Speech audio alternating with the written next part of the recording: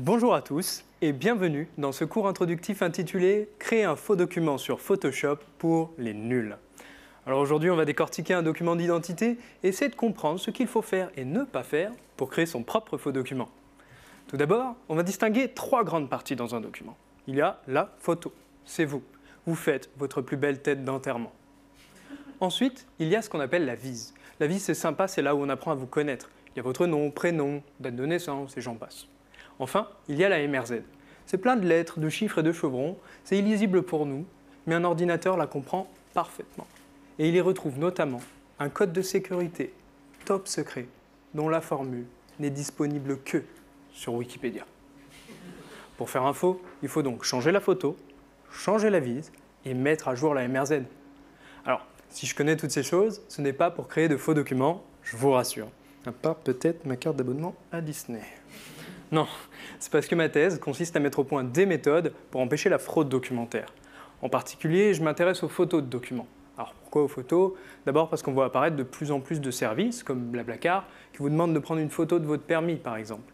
Mais aussi parce que faire un faux document sur Photoshop, c'est assez facile. Alors pour détecter un faux, on espère déjà qu'il y a des gens moins malins que vous qui ne sont pas encore au courant pour le code de sécurité. Mais si le code ne suffit pas, on sort l'artillerie lourde. Pour beaucoup, une photo, c'est appuyer sur un bouton, et voilà. Pour moi, c'est toute une aventure. C'est de la lumière qui passe dans une lentille, un filtre qui isole la lumière rouge, verte et bleue, un capteur qui enregistre cette information, et finalement des algorithmes qui vont réduire la taille de l'image. Alors, comme toute aventure qui se respecte, celle-ci aussi va laisser des marques. Chaque étape va laisser une petite empreinte. Une empreinte invisible à l'œil, mais bien présente si on sait où regarder.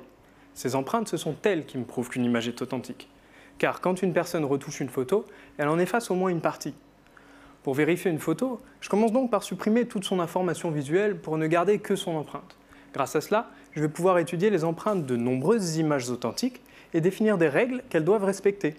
Quand je reçois une nouvelle photo, je vais donc vérifier que son empreinte respecte ces règles. Et si au moins une partie de l'image ne les respecte pas, j'en conclus que l'image est retouchée.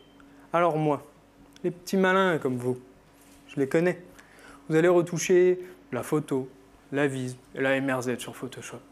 Le résultat visuel sera impeccable. Après tout, vous êtes de vrais professionnels, je viens de tout vous apprendre. Mais moi, le résultat visuel ne m'intéresse pas. Je vais extraire et vérifier l'empreinte de votre photo. Et si elle ne respecte pas mes règles, malheureusement pour moi, vérifier cette empreinte, ce n'est pas si facile. Et c'est parce que c'est pas si facile qu'il me reste encore du travail et que vous, mes petits faussaires. Vous reste encore de belles années devant vous. Merci.